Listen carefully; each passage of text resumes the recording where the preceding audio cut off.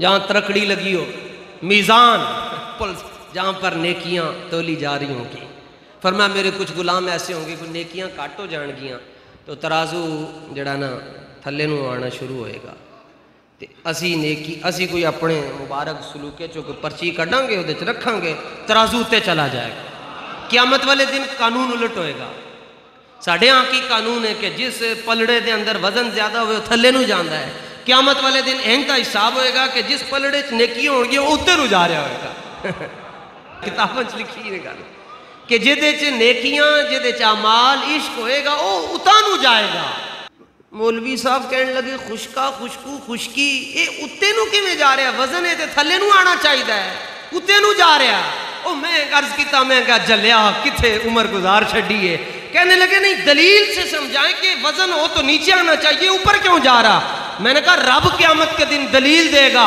रब फरमाएगा मेरे बंदो, तुम जानते नहीं हो, जिस तराजू में मेरे हबीब का नाम हो, वो नीचे नहीं जा सकता, वो ऊपर जाएगा।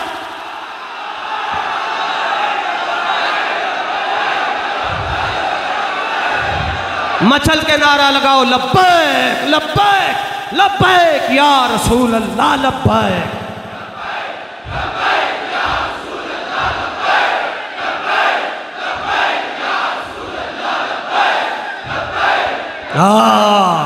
फरमाया, जिस पलड़े में, जिस तराजू में जाने जाना का नाम हो, वो नीचे कैसे जाए?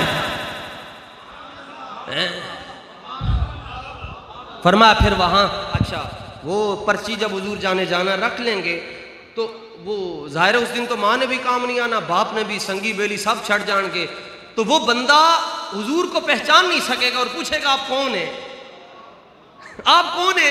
एडे औखे वेले मेरी मदद की थी तो हजूर जाने जाना, सल्लल्लाहु अलैहि वसल्लम अपना तारुफ नहीं करवाएँगे क्योंकि तारुफ वो करवाता है जिसको तारुफ करवाने की ज़रूरत होती है।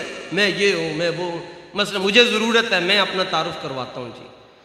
मेरा तारुफ ये है कि मैं मौला अली का गदा हूँ। सिद्दीक अकबर का नौकर हूँ।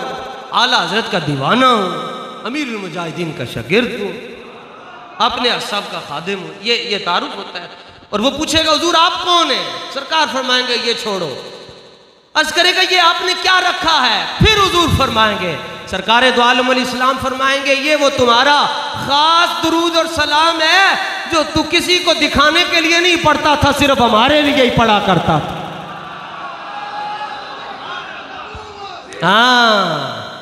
फतह बाब, ये दरूद है जी। फतह बाब नबूवत पे बे हद दरूद खत्म दौरे रिसालत पे लख ये वो ये फर, हजूर फरमाएँगे ये फरिश्ते को लसी नहीं रखवाए अपने कोल रखे से ये भी आला हज़रत ने लिखा अबाई शफात की सात अबाई ज़रा चैन ले।